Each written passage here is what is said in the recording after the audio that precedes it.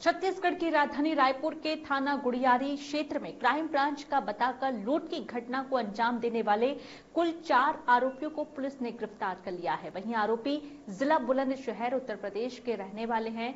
दो मोटरसाइकिल में सवार चार व्यक्तियों ने एक युवक और उसके भाई को अपने क्राइम ब्रांच का बताकर ज़बरदस्ती पच्चीस हज़ार रुपए पच्चीस हज़ार रुपए की लूट कर फरार हो गए थे, जिस पर थाना गुड़ियारी में आरोपियों के विरुद्ध अपराध पंजीबद्ध किया गया। वहीं मामले में चार आरोपियों को पुलिस ने हिरासत में ले लिया है।